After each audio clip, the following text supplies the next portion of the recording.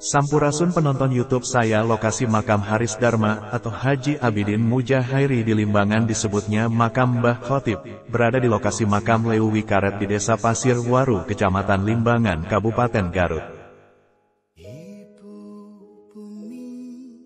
Mandala Padepokan Tembong Agung awal didirikan oleh Arya Bima Raksa dan Aji Putih 678 Masehi di Citembong Agung Girang, Kecamatan Ganes Sumedang, kemudian pindah ke Kampung Muhara, Desa Lewi Hideng, Kecamatan Dharma Raja dan statusnya berubah dari kemandalaan menjadi Kerajaan Tembong Agung.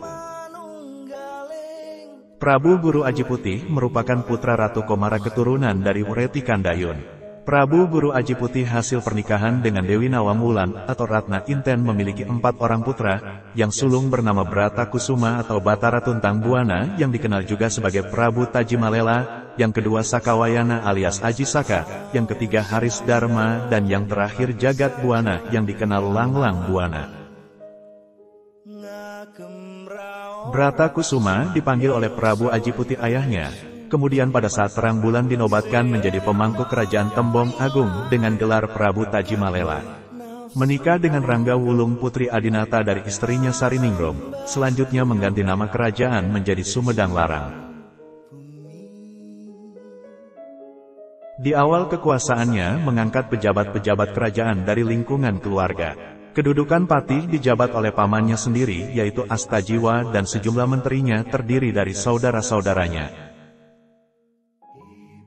Sakawayana atau Zainal Mustafa atau Mbah Jalul menjadi mangku bumi di daerah sekitar Gunung Tampomas. Haris Dharma atau Mbah Khotib atau Haji Mujah Hairi menjadi mangku bumi daerah di sekitar Cipancar Girang Limbangan Garut, meneruskan Prabu Wijaya Kusuma karena istrinya Mulia Sari putra kedua Prabu Wijaya Kusuma dari istrinya Dewi Lenggang Kancana, yang yang makamnya di lokasi komplek makam Sunan Cipancar dan berdampingan dengan makam Mbah Khotib Desa Pasir Waru Kecamatan Limbangan Kabupaten Garut. Sedangkan Langlang Buana atau Jagat Buana menjadi mangku bumi di daerah Lemah Putih, kemudian menjadi pengabdi Kerajaan Galuh. Pembagian tugas dan wewenang memperlihatkan sistem yang dibangun Prabu Tajimalela adalah sistem monarki konstitusional, di mana mangku bumi bertanggung jawab langsung kepada raja. Pemerintahan yang paling rendah adalah kepala duku, kedudukannya sebagai pemimpin kampung.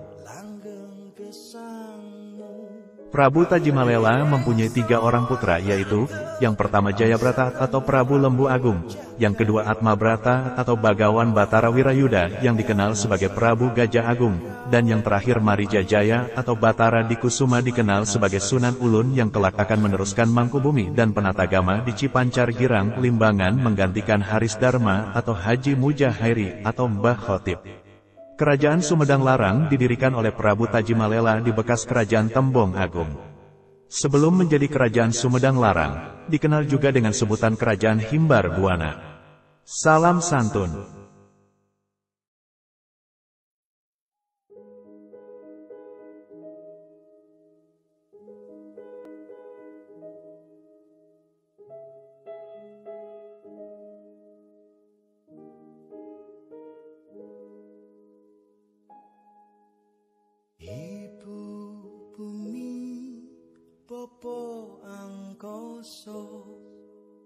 mangku bumi mangku angkoso ingsun ngadeg setengah jagat.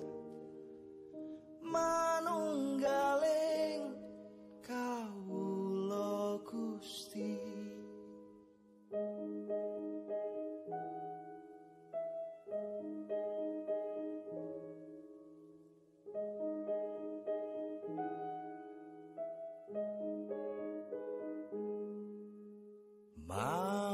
mantra sajroning ati ngagem raos ingsun kang suci. Se